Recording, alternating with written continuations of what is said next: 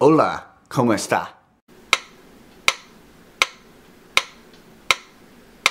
Hello guys, thanks for watching. This is a video about an update of the O Come O Come Emmanuel whole situation thing. Remember like I said that I would put out sheet music if the video got enough views?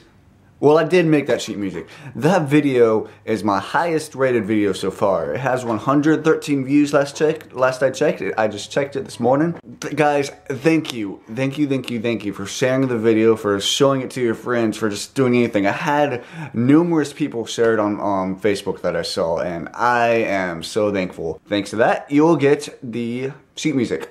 It is uploaded on my Dropbox. I will have a link in the description, doobly-doo, or link in my pants, whichever one you want to say. And I also will have it on the O Come O Come Emmanuel video as well.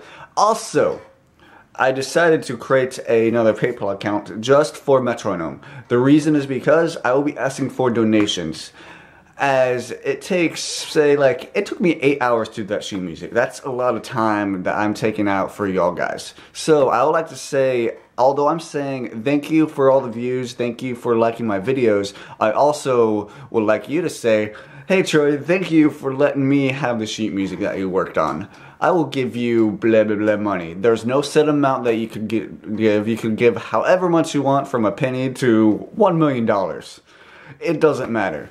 Um, it's just pretty much showing that you appreciate my videos, showing that you appreciate the time that I put into it. And you also gotta remember, it takes time for me to actually compose the music as well. So, oh, also, the um, sheet music will not always be on Dropbox. I just have it right there now so that if I see any errors or anyone else sees any errors, I could actually just kind of fix it and y'all will be able to get the update easily. But once everything kind of seems to be perfect on it, I'll be able to upload to a different source. That way it will never actually leave my Dropbox. As I probably will never, I'm not going to always have on my Dropbox account. That's pretty much what I'm trying to say.